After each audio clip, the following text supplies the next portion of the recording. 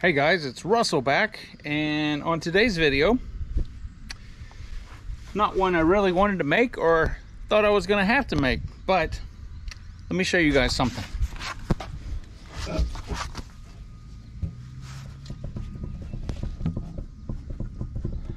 Hopefully the camera is picking that up. What I want you to do is look right here, where the axle goes into the hub.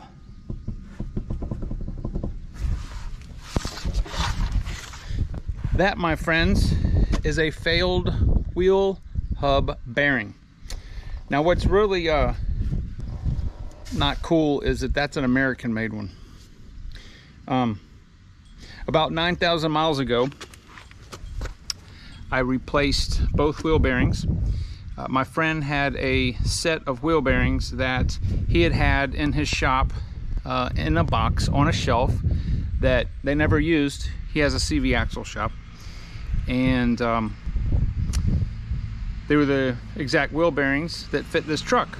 I can't remember what brand they were, but I do remember they're made in Cleveland, Ohio. Um, it was definitely an off brand. So, uh, 9,000 miles later, um, here we are. So I thought that it was going to be I was hoping it was going to be the ball joint, but the ball joint, both upper and lower, and the tie rod ends are tight as a drum after 20,000 miles. And um, yeah, so I'm gonna have to remove this American-made wheel bearing. And I think that that wheel bearing was from the early 90s, I think he said. But uh, obviously, they don't make them in the United States anymore. Uh, parts like that, they're all made in China. So I'm going to go back with an AC Delco Gold replacement. This is the exact same thing. If I went into the Chevy dealership and um, wanted a wheel bearing, this is exactly what they would give me. Um, it's the same thing that they would put on a, a vehicle. Obviously, this being the 1989, uh, it's far out of warranty, but uh, yeah, it's uh, the AC Delco Gold. And yeah, they're made in China, but so is everything. So hopefully they will last at least as long as the original ones did, which was almost, I think about 100 and, or almost 200. So anyway, enough whining, let's get to it. Remove the axle nut. This is a 36 millimeter.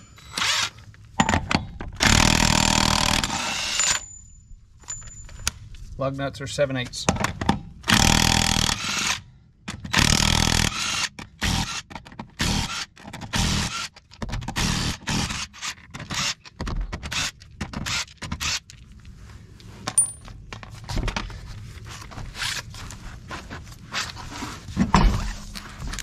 I'm going to compress the brake pads just a slight bit.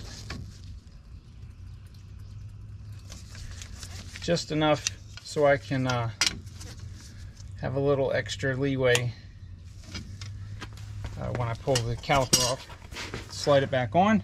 The caliper uh, bolt here and here. These are 3 8 hex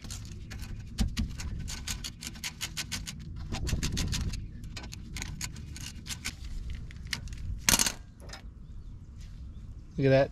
This is why you put um, silicone lubricant for brakes on your slide pins. See how good a shape they're in? All right, so I'm gonna take the caliper off.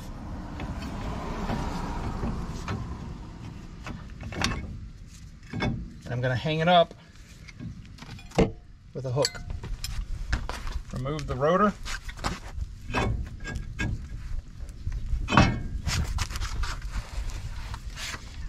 The hub is held on by three 15 millimeter bolts. You can access them by lining up the holes in the hub. Make sure that your axle is able to slide. Last time I did this, um, I made sure to put some copper anti-seize on there so it won't rust.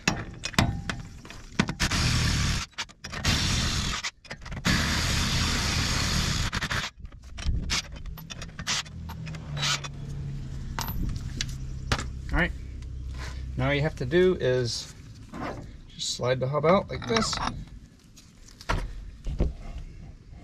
copper anti-seize. It's there. A little bit of grease on the bearing, or uh, the knuckle. And here is the failed hub. All right, so here's the uh, AC Delco hub. I want to show you guys something. Listen to this.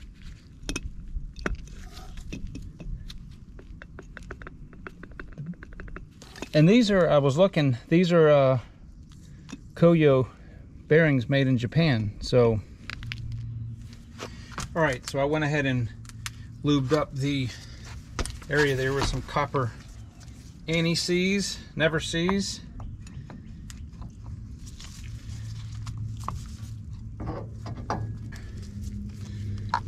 On these bolts, just a little bit of blue.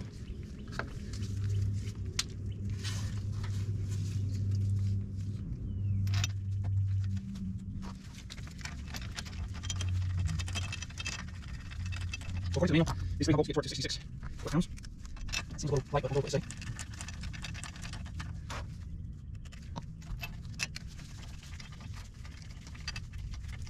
Just going to uh, sit down.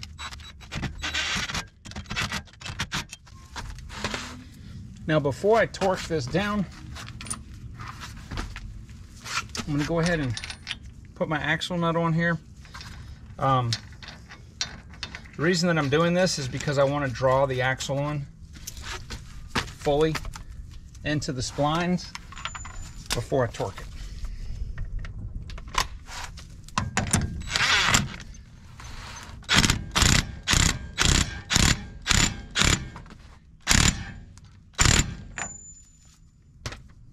Now, incidentally, this gets torqued to um, 173 foot-pounds, and unfortunately, my torque wrench only goes to 150, so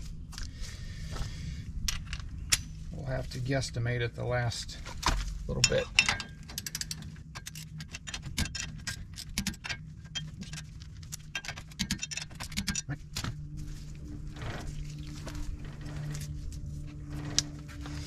That is tight as a drum. Next, put the rotor back on. Take our caliper. Slide that back on.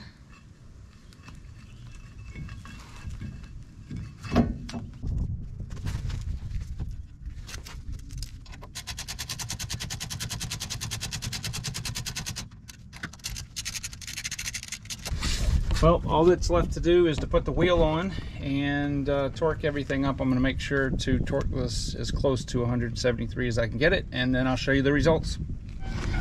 I was going to show you guys a little trick, but as you can hear, the garbage truck decided to stop in front of my house. But instead of having to try to lift the wheel up, if you got big wheels and tires, um, especially if you've got a four-wheel drive truck that's got some su substantial feet to it, um, you can get this kind of in position and use a giant crowbar and just lever it up. That way you don't have to uh,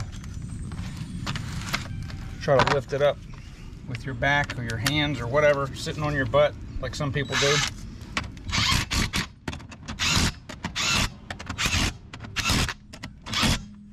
All right, so when the wheel is touching the ground, I'll actually torque those. Uh, same thing with that, but listen,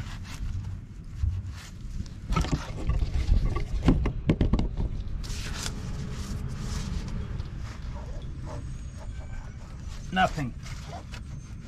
Tight as a drum. So, um, I'm gonna take this wheel bearing over to, uh, I can examine it a little bit better and if I find anything weird, um, I'll let you guys know and show you.